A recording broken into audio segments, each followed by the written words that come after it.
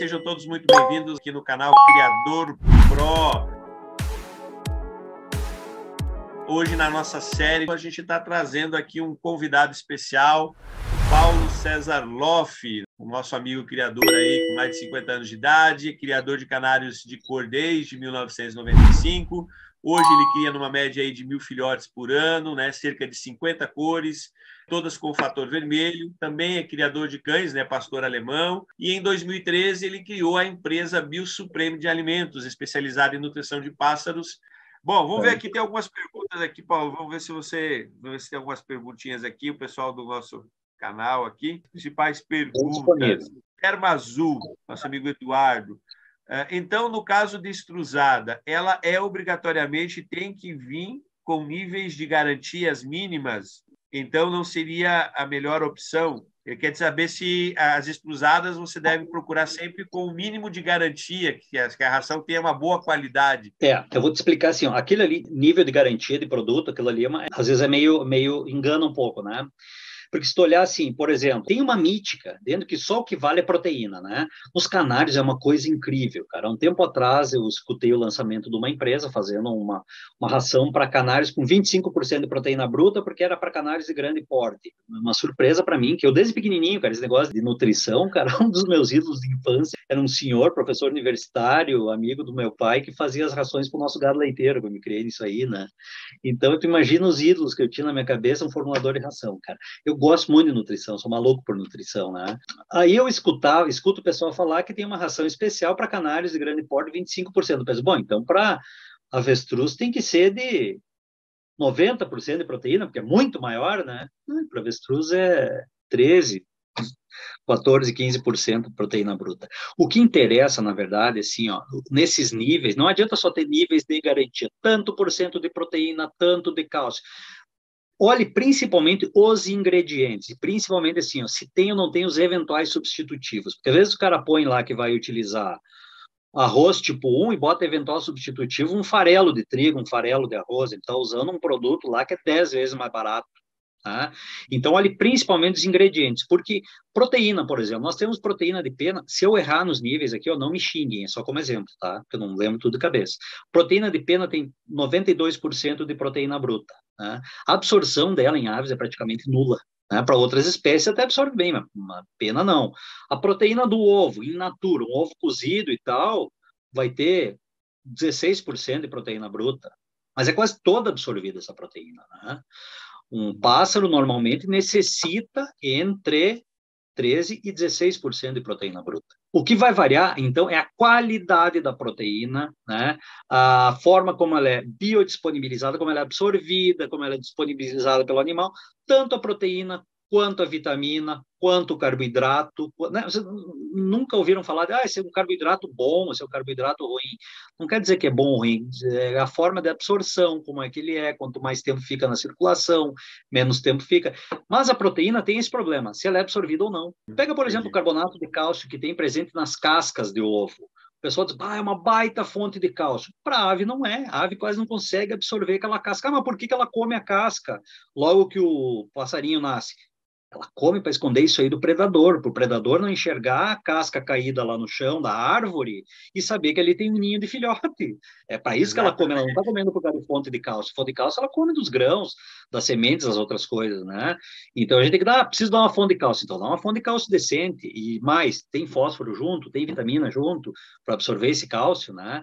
Então tudo isso aí. Então, ah, extrusada é boa? Sim, é os níveis de garantia, mas mais ainda dos que os níveis de garantia, procura ver quais são os ingredientes dela. Aí ingredientes. eu acredito. Os ingredientes. Né? Outra pergunta aqui, Paulo, também é, do Nelson, ele fala assim: a granulação, o tamanho da ração extrusada interfere muito na, na alimentação das aves? Tem que ser uma ração própria para cada espécie? Nós temos um problema assim de hábito, né, de espécie. O grande problema da granulometria, que se chama granulometria, isso aí, tamanho de partícula para as aves, é o seguinte: o que, que aquela espécie está acostumada a comer? Depois que foi para o papo e passou pela, pela digestão, não vai mais importar. Mas até ir para o papo importa. Se ela consegue aprender aquilo, por exemplo, o canário, um grande problema de dar para canário e para alguns tipos de psitacídeo de ação extrusada é que eles têm a mania de quebrar e aí quando ele quebra, perde a metade. Tem alguns, tem alguns pistacídeos que eu conheço que ficam brincando, algumas espécies que brincam com a, Olha, joga fora. É. é, cara, então assim, ó, os pássaros silvestres tem muitos, por exemplo, que têm o costume de molhar a estruzada antes de comer. Cardial, por exemplo, molha a estruzada e depois come. Uhum. Imagina a perda que dá disso aí, o manejo difícil que é isso aí, porque vai umedecer e tal. Por que, que estão fazendo isso? Para chegar no nível de maciez que a espécie está acostumada. Trinca-ferro gosta de comida macia, né? Então, se tu der uma, uma estruzada um pouco mais dura para ele, ele pode até comer, mas não é o que a espécie quer. Então, o tamanho da partícula vai influenciar o tamanho, vamos dizer assim, o tamanho da partícula extrusada, da bolinha da extrusada, vai influenciar no modo que a espécie consome ou não, e se desperta o interesse dela ou não. O uhum. tamanho da partícula, que é quanto está moído o trigo, quanto está moído o milho, isso aí sim, isso aí vai influenciar depois na questão da absorção. Mas é isso aí, pode ter certeza. Passou pela extrusão, está no tamanho adequado. Está bem adequado. Outra pergunta aqui é referente a farinhadas. Farinhadas se dá o ano todo ou somente em alguma época? Pois é. Eu dou farinhada todos os dias do ano para todos os pássaros, né? Porque eu uso aquele, eu uso aquelas duas coisas. Eu uso uma mistura de sementes. E vou dizer por que eu gosto muito de mistura de sementes. Uma mistura de sementes bastante completa, né? E uso uma farinhada para todos os pássaros, todos os dias do ano. Porque não tem justificativa para não dar isso, né? Ah, mas eu não vou dar porque economizar cara pálida, então faz o seguinte, então cria menos, né, cara? É aquela história, né? Planejamento, cria uma quantidade menor, cara, porque realmente assim, ó, no começo é fácil, tu tem 10 casais, mas dali a pouco tu vai, 10 casais são 20 pássaros, dali a pouco vai ter os filhotes, vão ser 120 pássaros. E tu vai ter que aguentar um ano e pouco até que eles participem dos concursos e sejam vendidos e tu efetivamente põe a grana no bolso se você for bem nos concursos e conseguir vender. Né? Então tem, tem tudo isso, então, então de repente cria menor. Lucas, Lucas Villanova, ele pergunta assim, no caso dos psitacídeos, é bom variar sementes extrusadas, saladas, ou é melhor só extrusada?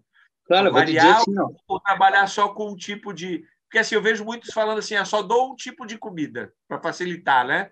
Só dou uma que tem tudo. Varia, no máximo, dá uma salada. E a outra pergunta dele é: farinhada, ela é feita com ovos e eu posso misturar ovos nela? A gente tem que ler e olhar o ingrediente, né? Algumas farinhadas têm ovo integral desidratado, outras não têm. A gente tem farinhadas lá que não tem nada de glúten, nada de ovo, por exemplo, nada de soja, né? Porque uh, alguns criadores pediram para desenvolver uma farinhada assim.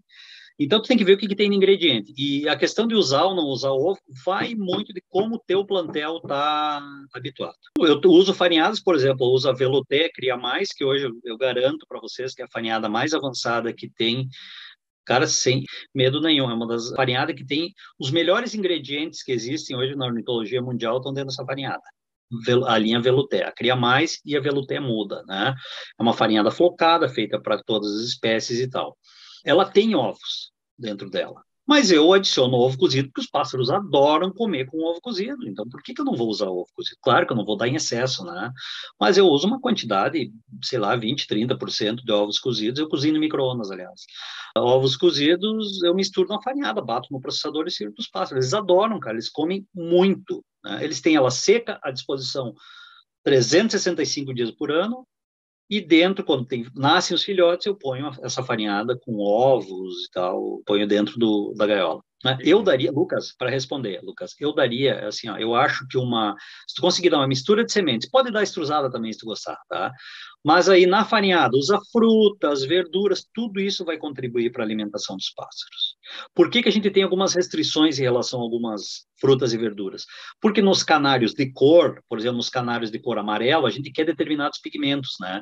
Então, eu quero uma tonalidade de amarelo específica. Então, se eu usar, por exemplo, milho, eu não tenho essa tonalidade, já passou do amarelo. Nos vermelhos, eu tenho que usar cantachantina, que é um pigmento vermelho. Então, só por essas restrições, mas por questão nutricional, cara, quanto maior variedade, melhor. Entendido. Tem uma pergunta do seu Moisés Bragamonte, ele é aí do Rio Grande do Sul. A ah. farinhada pode substituir a extrusada? Farinhada e extrusada, Moisés, é aquilo que eu sempre digo, né? As duas são a mesma coisa. Só que a diferença é que uma vem em bolinha e a outra vem moída. O que eu quero te dizer é o seguinte, assim, ó. Normalmente a extrusada não consegue substituir a farinhada. É o contrário. Pega um pacote de extrusada e compara com um pacote de farinhada, tu vai ver a diferença de ingredientes dentro dele. Nós temos lá Uh, não vamos falar em premix, porque aí vira as dezenas, né? Mas a gente tem lá rações, por exemplo, a média, a média de, de ingredientes das nossas rações é 23 ingredientes, das nossas farinhadas. Das extrusadas é menos, né? Então tem que, tem que pensar numa coisa assim, ó o que, que tem dentro daquela farinha? Por exemplo, tem algumas farinhadas com plasma sanguíneo, tem outras com farinha de crisálida, tem outras com glúten de trigo. São alimentos assim fantásticos, super metabolizáveis, né? E às vezes nas extrusadas não tem isso. Então aí como é que tu vai poder comparar? Então tu tem que pensar bem assim, ó, o que que são as farinhadas e o que que são extrusadas? Tu vai pegar aquele prato que tu está querendo servir para o teu filho, querendo fazer ele comer a verdura e não comer só o bife e a batata frita, né? Tu vai pegar o arroz, o feijão, a verdura verdura, legume, vai moer tudo isso aí, o tomatinho, o espinafre que ele não está muito afim de comer, vai moer tudo isso aí, ou fazer uma bolinha, ou dar de forma moída e misturada. Então, na verdade, as extrusadas e as farinhadas são assim, depende do que tem dentro. Depende do prato que tu montou. Ah, mas tem uma, ah, o meu pássaro come, come, adora essa ração e tal, mas não estou com bons resultados. Vai ver a batata frita ou a bolacha. Meu filho, se der batata frita e bife o dia inteiro. Ele come só isso, né? Ele come o dia inteiro. O mesmo Lucas Villanova, ele pergunta: quais os critérios para usar e escolher boas sementes? É a questão de germinação ou é a mesma a fornecedores e qualidade? Origem, cara, e fornecedor de qualidade. Assim, outra coisa não tem, Lucas. Assim, ó, visualmente não tem como saber. Não tem como saber. Vai teria que mandar fazer um laudo, e esse laudo é, não é barato e não é tão acessível também. Então, meu, compra de uma empresa boa. E assim, ó, sempre normalmente custa um pouquinho mais caro. Não é porque a empresa quer te cobrar mais caro, é porque ela tem custo, porque aquela semente que saiu ruim, ela descartou. Então vai ter um. Assim, ó, lá quem, quem vendeu para a empresa tem duas, cara, tem uma meia boca aí que que custa um alpiste meia boca custa quatro reais, o bom custa dez. Qual é que a empresa quer comprar? Né?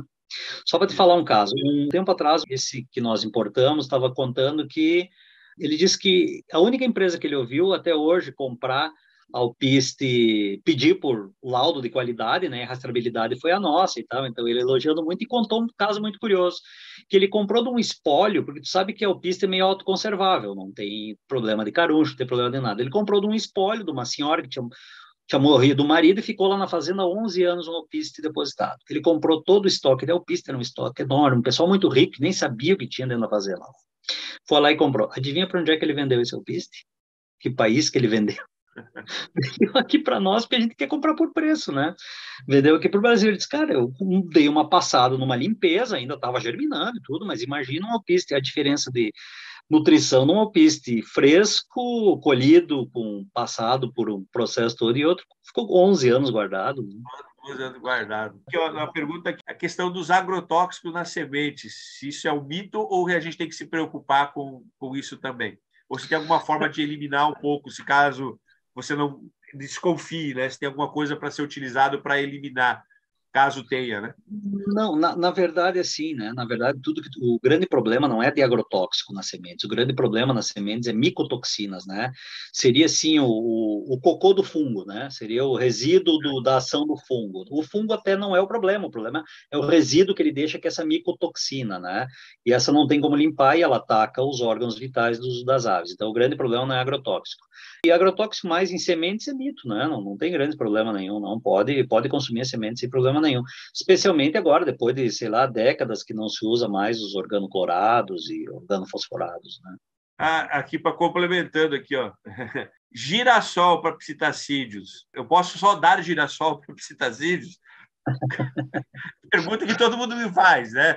É, eu é, tenho loja, eu só dou girassol, é, eu só dou girassol. Vai fazer mal?